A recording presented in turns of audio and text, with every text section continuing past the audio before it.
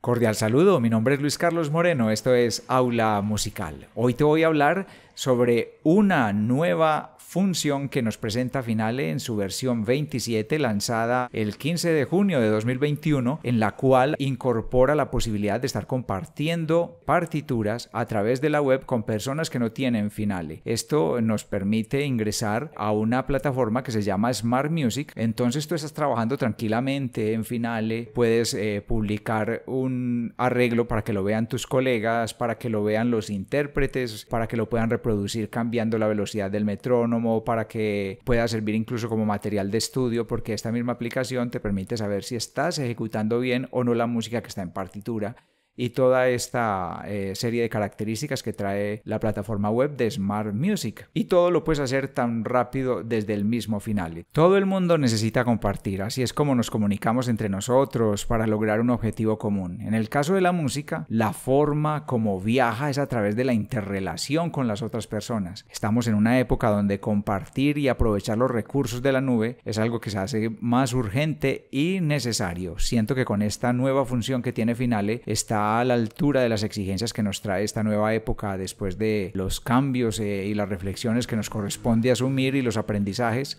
que nos deja el año 2020 y lo que estamos todavía viviendo en estos días con respecto a cómo trabajar más la música en la distancia. Cuando te reúnes para ensayar y te propones crear el entendimiento de la visión artística que tiene un ensamble, en persona es mucho más fácil, obviamente, pero ahorita nos corresponde lograr a través de la distancia aprovechar la nube como una forma de entrenar en la distancia y esto es posible gracias a la conexión que ahorita tiene Finale con Smart Music.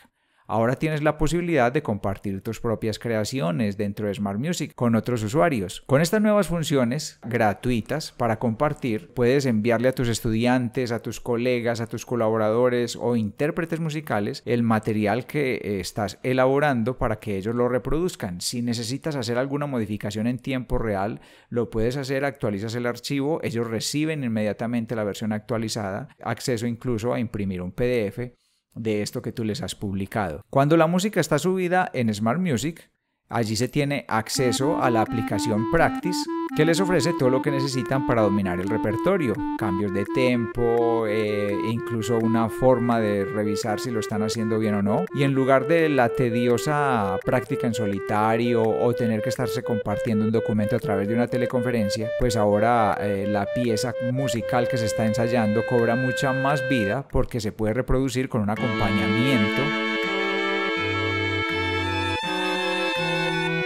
y también reciben información inmediata sobre la afinación que están experimentando al, ejecutar la partitura y la precisión rítmica.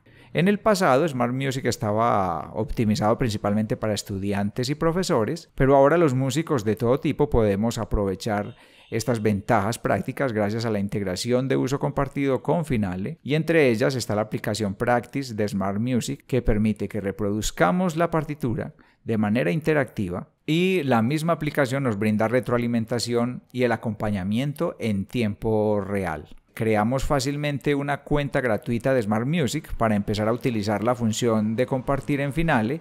Accedemos de forma sencilla a la cuenta de Smart Music sin salir de Finale.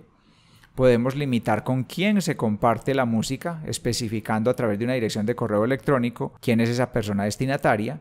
O también podemos compartir música sin especificar destinatarios, pero obteniendo una dirección URL que podemos compartir eh, a personas eh, específicas eh, o a personas no específicas. También podemos optar por subir la música a la app con el gestor de contenidos web sin necesidad de compartirla, simplemente para almacenarla allí y tenerla para un proyecto futuro. Finale asigna automáticamente los instrumentos de música para subirla, pero también podemos modificar los instrumentos en el último momento cuando estamos haciendo la carga del archivo. Finale exporta la música a Music XML sin que nos demos cuenta de ello para que se conserve la máxima cantidad de información del documento para su visualización y reproducción en la aplicación web. La música que ya has subido puede actualizarse, puedes hacerle cambios, puedes eh, hacerle mejoras o puedes borrar o agregar elementos desde Finale o también podemos eliminar el archivo mientras este archivo no esté asignado como una tarea para alguno de los estudiantes.